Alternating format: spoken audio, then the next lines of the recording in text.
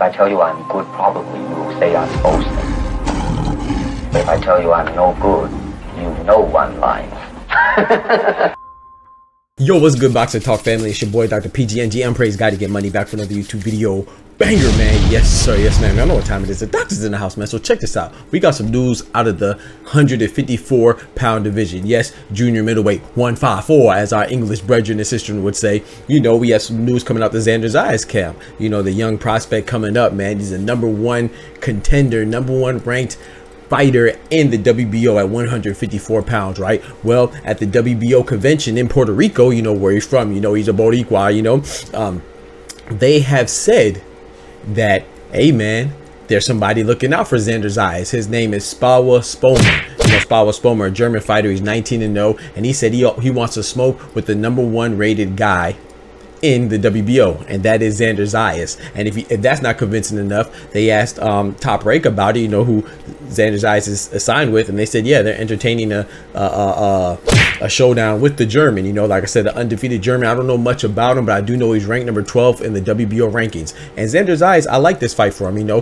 he called out Vergil Ortiz, so it's not Vergil Ortiz per se. Of course not. You know, he's not as high a caliber fighter as that. But I think this is a good fight for the young 22 year old. You know, he's he's a young American, still uh, uh, uh, still up and coming, still finding himself. You know, refining some things, and I think this would be a good good nice little test for him against another guy who's undefeated and in the top 15 rankings. You know, um, so I, I think this is dope for the natural progression of of of his uh of his fighting style and we can see how his uh, his fighting style develops and his character you know? So I love this fight. I think it's good. But I do want to bring this to y'all's attention man. You know Xander Zayas he has a lot in common with the guy we just saw we just saw a fight this weekend and struggled a little bit against a veteran. His name is Floyd Kid Schofield you know?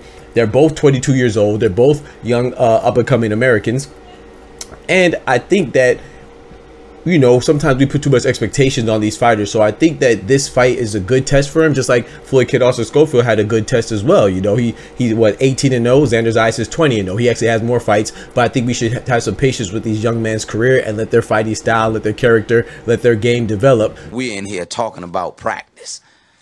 I mean, listen, we talking about practice. I think it's also fine for Kid Austin and Floyd Schofield to, to progress and struggle against a veteran like that, you know. So just take your time with these young up and coming prospects, like we're gonna do with Xander Zayas, just like we do with Floyd Kid Austin Schofield and all the other ones, you know. Like I said, Floyd Kid Austin Schofield fought Renee Tellez Giron and he struggled a little bit against the veteran Xander Zayas. He's fighting an undefeated fighter, but he's relatively unknown, so we'll see how it goes. I want to eat his children.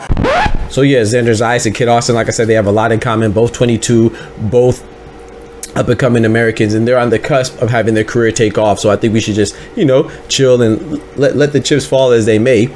And also, you know, they also have in common that they're both uh, uh, ranked highly in their respective divisions. You know, with uh, Floyd Kid Austin Schofield being number two in the WBA and Xander Zayas being number one ranked contender. So, you know, so let's take it easy with them and just enjoy them on their career and see how it takes off. I, I have uh, big faith in both of these fighters.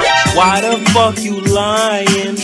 Why you always lying? Yeah, so let's just let's just take our time with these fighters and our expectations and let them progress naturally, man. I think everything be good. But the the date of the fight has not been ascertained. They did not uh, uh, specify a location or a venue or anything yet, but you know, according to the, the, the WBO executives and top rank themselves, we should be seeing Xander Zayas against Slawa Spomer next. You know I'm saying? For an undefeated clash. So we'll see how it goes, man. Appreciate y'all rocking with me. Don't forget to like the video. And remember, with God, we can do anything. Without God, we're nothing. The doctor's out. Peace.